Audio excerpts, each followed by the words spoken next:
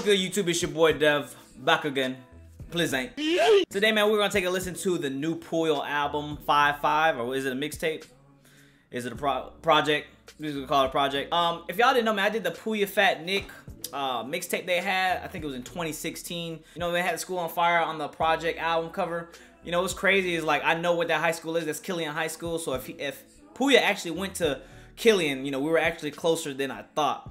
Um, you know, that was one of the rival schools when I was in high school, you know, from Homestead and whatnot. But, but what happened was my camera died. I never finished that. I think I had like three tracks left on the review and I just never finished it. I still just have it archived in my um my computer. But today his focus is on the five for five project that he has here. Did I? I said five for five. Well, I'm fat as hell. Boy, nigga, well, nigga is hungry.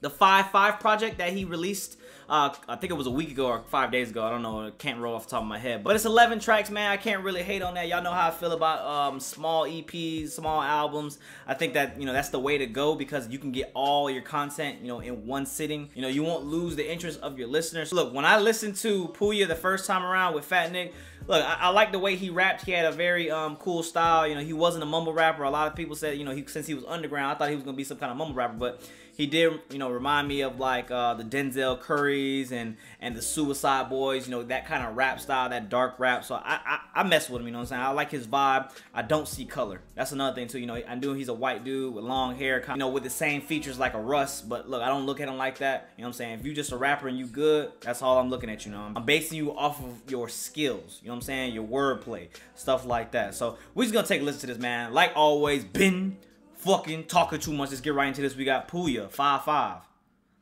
Y'all ready? Alright, man. The first track is Aftershock.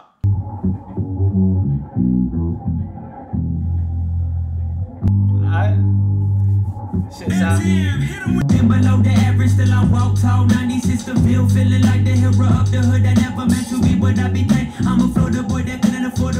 At the corner store with five of my homies with the clock inside my jacket. Hey. Making racket, trying to sell us using my tongue. But hey, how you hate somebody putting on for your city? I got a thousand enemies and yeah, they want to rip it. But even if you kill. For real though, how you hate somebody that's putting on for your city, man? Like you can't really. That, that's why I understand. Look, when you got stands from the hometown, like your hometown artists, that's why they get hometown love because they putting on for your city, so you can speak on like where I'm from, Miami, Memphis, New York, Oregon, Washington, wherever you're from, man, so you can rep your city.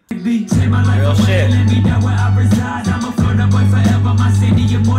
Yo. Everybody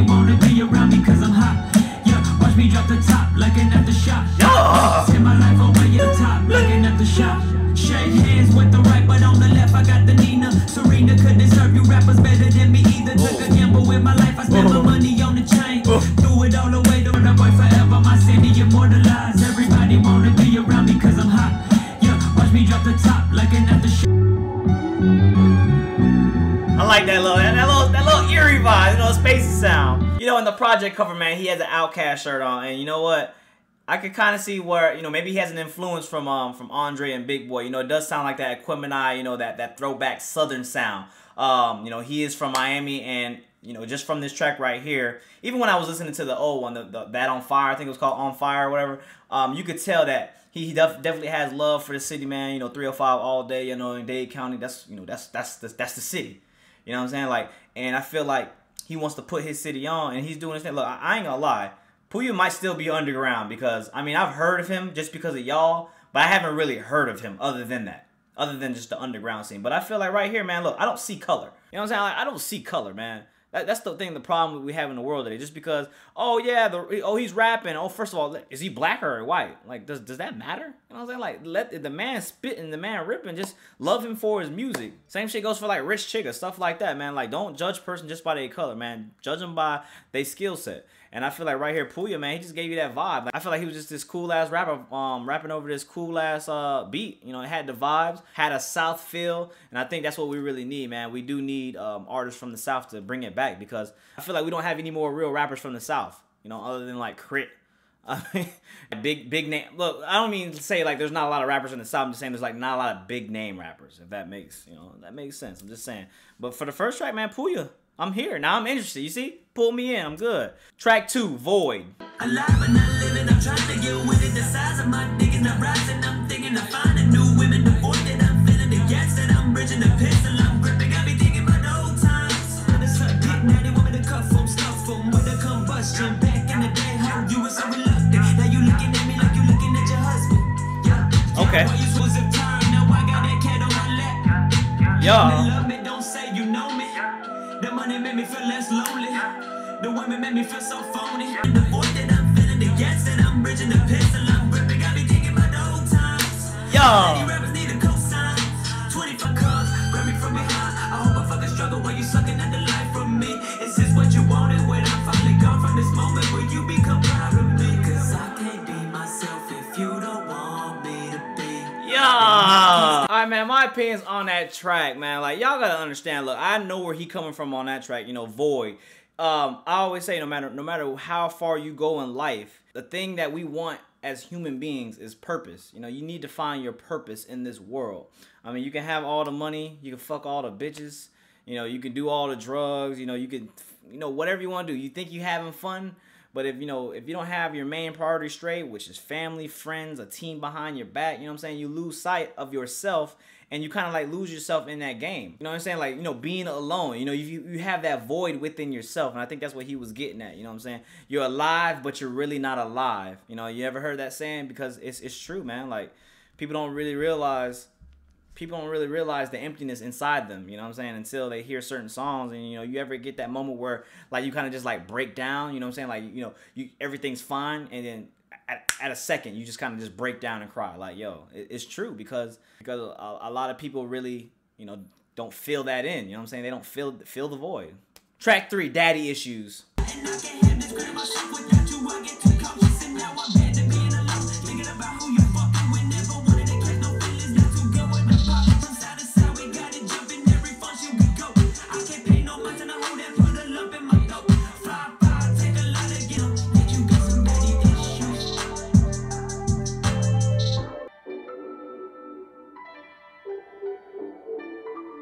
Gonna lie, I like the way he he kind he could kind of like sing a little bit. Uh, that track really didn't do anything for me. I like the production on there, but for the most part, didn't do anything. Daddy issues, you know, a lot of broken families, um, especially in, in, in urban and areas and you know in the hood and whatnot.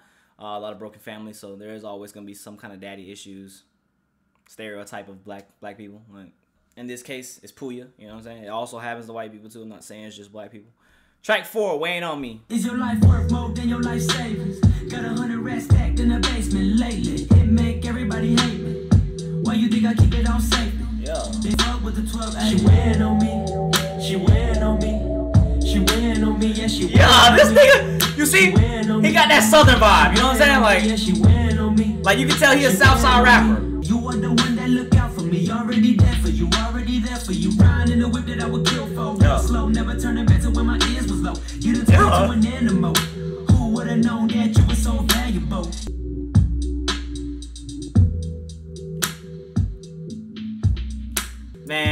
I I can't wait to listen to that bitch in the car. You know what I'm saying?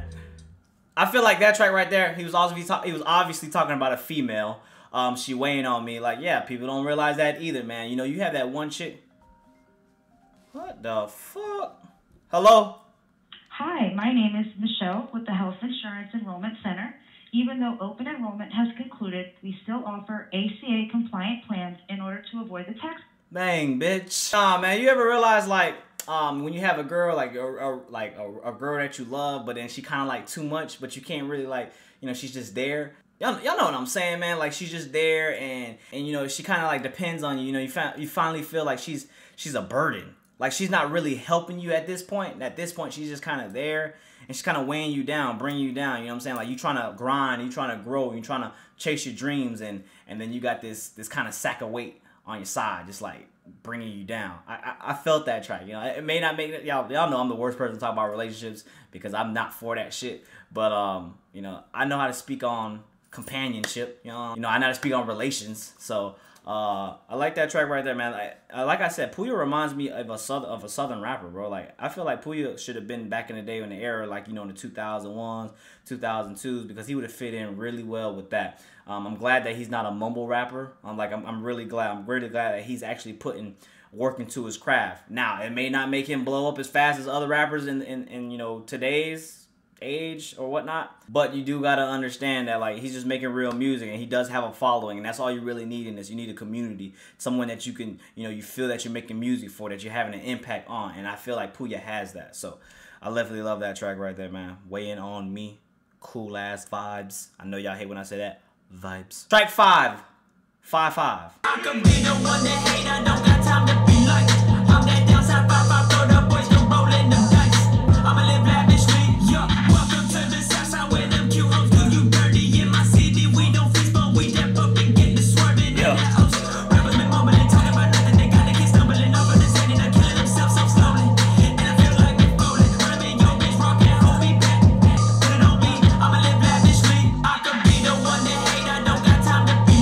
Saying right there. That Suicide Boys Denzel Curry, he reminds me of that. I do know that he has a um, a mixtape with Suicide Boys that I still need to do the video on. I will get to that, but um, you know, he kind of reminds me of that style. I like I like it. I like when they rap like that. You know, it's kind of like a fast offbeat rap. I don't know what kind of style that is, but I'm definitely digging it. The beat too, I, it's really hyped. I can see why it's a star on here. A lot of y'all probably really fucking with the hype shit. You know, y'all know me, man. I'm, I'm kind of of a laid back kind of dude, man. I do love. Sometimes I do love to get hyped when I'm off the hand but um, for the most part, you know, I'm just kind of like that chill, chill, laid back dude that li- likes to listen to, you know, vibe music. That's why people like Cudi and Kanye, um, artists like that always get to me because they have that old school, you know, um, soulful beats. You know, that's that's the kind of thing I really like. That's why I was fucking with tracks like Way on Me and um, you know, Void and Aftershock because I felt like you know it had that that Aquemini feel. It had that sound. Track six, Handshakes.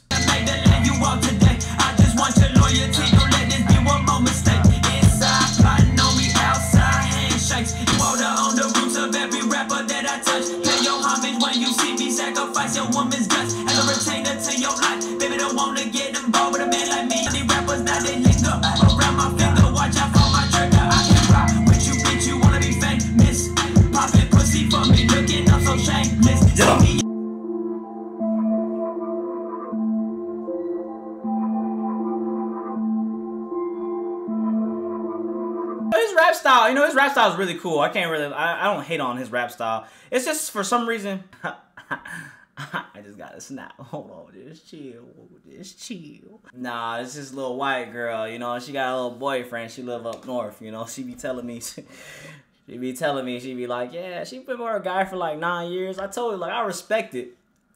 But if your guy ever decide to like end that shit, just know I'm gonna be right there sliding. You know what I'm saying? But um, nah, man. Back to the review though, man. That track right there, though, like I like the I like his rap style. I like how he raps. It comes off the tongue really well. Pause. The thing I think that's just missing for him is it's just he's just not in the right time. Like nobody really wants to hear you know real music no more. Everybody wants to hear the mumble rap and stuff that gets you hype. And I see what he did right there, like handshake, like I said, handshake and and five five is is cool. Like it's they're they're really hype, but for the most part, not my type of scene for every day. It's just a certain setting for me that I need to listen to those kind of tracks. So um, yeah, man, we're just gonna keep it like that. Like just, I don't know what else y'all want me to say with that. Track seven, don't bang my line, featuring Night Lovell. Nah, that's not Night Lovell. Night Lovell.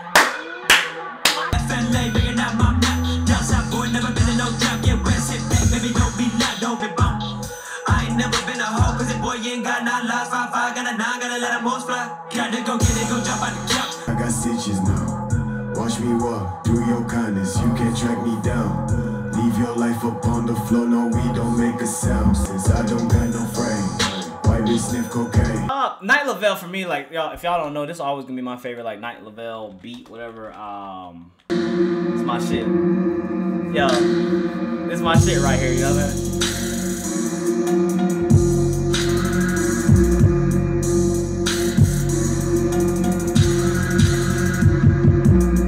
Get into that, you know, y'all like that's the slower side to me. You know, that's what I like. I like that cool shit. I like the I like the laid back stuff. Like Night Lovell always had a scary voice to me. That man, the, the voice is real deep and it's real kind of like dark.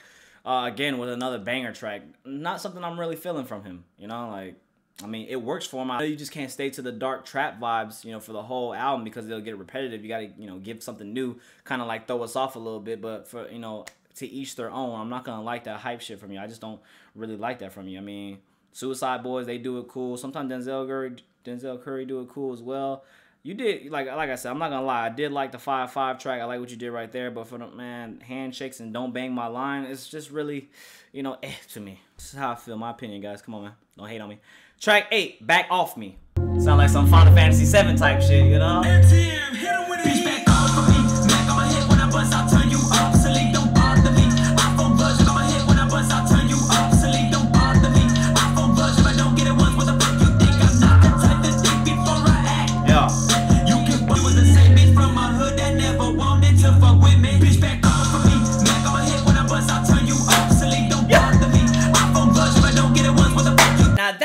MTM, track I can vibe with any time of the day. Like I can bump that in. I'm about to go to the gym right now. I'm about to, uh, uh, I'm about to know, I'm about to hit the shit. I'm about to listen to back off me because I like the energy he brings on that track. And you know what I noticed too that about his um, project so far that I noticed like he doesn't actually like do like any other SoundCloud rapper when they give you these one minute thirty tracks. You know, this track was kind of short. This track was 215, but I mean, I'm gonna let it slide because his previous tracks were three minutes long. The tracks that I liked at the beginning, they're all three minutes long, three minutes long, three minutes long. So um, he's actually giving us real music, and that's also why his album is shortened, which I think is the right thing to do. Give us actually a full fledged track, and I feel like Pouya is is kind of doing that. You know, he's not saying like I'm not gonna sell myself out because I think that's what SoundCloud rappers do. They just do that to get more streams, get more clicks, stuff like that. And I think it's kind of an advantage when you just release mad music and, and it all sounds the same. I mean, that's just how I feel. Track nine, one time. Uma fofa cara aqui vem pra amassar.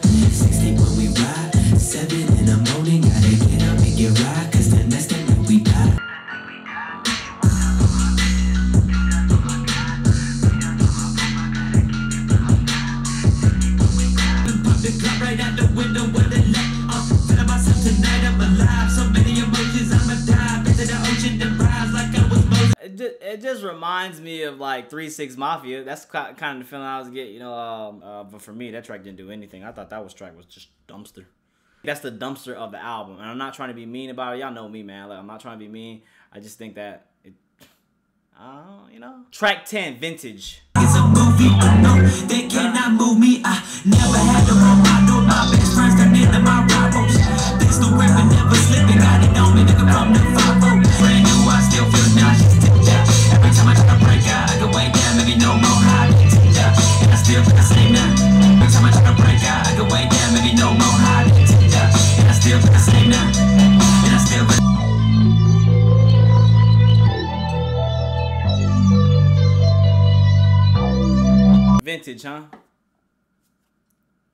You you, definitely you you definitely in the wrong time, my guy. Like Pouya, you you know what I'm saying? Like money. Look, money ain't everything, dude. Like money is not everything. Stick to stick to what you do. Stick to your roots. You look, your fan base hit me up. They've been blowing me up. They say listen to this five five is actually real, and you know I'm starting to agree with them. On your part, man, like just don't don't sell yourself out, man. Keep making music like this, and you know you will you will continuously build your community. It may not be as fast as other rappers, but as long as it's going up, progress is better than no progress. You know. And the last track, man, Suicidal Thoughts in the back of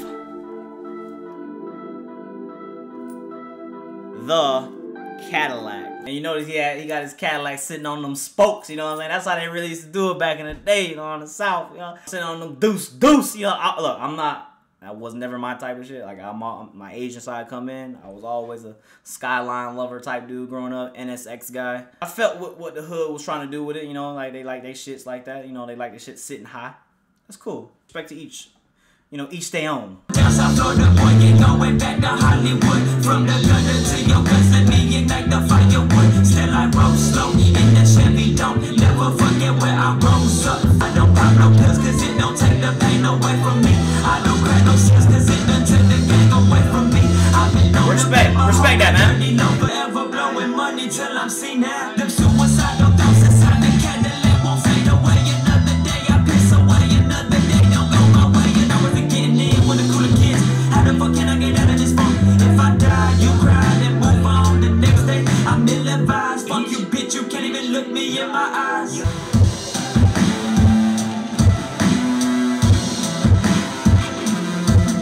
Electric guitar at the end. You know, it sound first I thought it was a gaming sample. I thought it was some kind of like video game sample from like Sega or something. But um, as you can see, he reps his he reps the South. Like he reps Miami, and you can't really hate on somebody that that does that, man. He's put trying to put it on for your city, and he's doing it in his own way. I always say, man, you get the the artists like the Big Crits and the Nick Grants and and the Jids and stuff like that, and EarthGang. You know what I'm saying? Like not a lot of real rappers from the South are just are, are blossoming as as some of these SoundCloud mumble rappers. It's, it's, it is what it is because you understand the kids don't want to hear that anymore. The one line I think I appreciated in that track was when he said that he doesn't, you know, use the drugs to get away because it, it, honestly really doesn't help. And I always say that like drugs aren't going to do anything for you. You know, you can't run away from your problems when you take drugs. Like you know, you you'll get the the temporary high and temporary relief for just what a couple hours, maybe even a day, and then it just comes right back. You gotta face your issues um, face front. Honestly, the reason I think that kids don't want to listen to um, you know, real rap no more is because of the drugs. Because you think about it, man, like whenever you get these hype tracks and they're talking about lean and all this stuff, and it's nothing but like these sounds that make you roll. All everybody wants to do is pop mollies, be on acid, you know, pop Percocets, painkillers, all this stuff, and that's their kind of like getaway. And they feel like this music on the all these festivals are are the thing that's just gonna make you happy. And in the long term, it's just it's just hurting you and it's fucking you up. Um, you know, well, and before the way a lot of kids that were struggling, you know, how they came up, the way they handled it was, you know, they listened to soulful music, music that would motivate you to get by, music that, you know, you could, you know, the rappers were speaking through experience and they were kind of like speaking to you, you know, on a relatable level and you could actually just be like, yeah, bro, you're gonna get through this, you know what I'm saying? Like motivational music, I would say. So when it comes, you know, Pouya, I understand what he's doing here. I just hope he really doesn't change. His hype stuff really wasn't my cup of tea. Like, it was a couple like two tracks, which was five five, and the other one on. Uh, let me see what it was. Back off me. I like that. You know, his flow really did well on those beats. Maybe it's the production that he needs on those certain type of hype tracks. But for the most part, when he had like Weighing on Me, Aftershock, Void, uh, Suicidal Thoughts in the back of the Cadillac, I like that man. I even like his album cover. He has um, um OutKast shirt on. You know, he has the Cadillac sitting on the deuce deuces. You know what I'm saying? Like I, I love what he's doing there. You know, you know he's embracing his southern vibe. You know, the southern music. He respects the South. He respects his hometown, and that's something you really can't hate on, man. Pouya. And another thing, like, look, bro, just because you white, I know a lot of people like like to bring in the race issue, especially now in the era that we live in. A lot of people want to bring in the race issue, but I think that that's in hip hop and music, that should just be something that's that's pushed away, especially in the rap scene. You know, I, I feel like it only happens in the rap scene too. Maybe in country, you know, we had Darius Rucker, you know, the black, all I wanna do is you, you know what I'm saying, like the black country singer.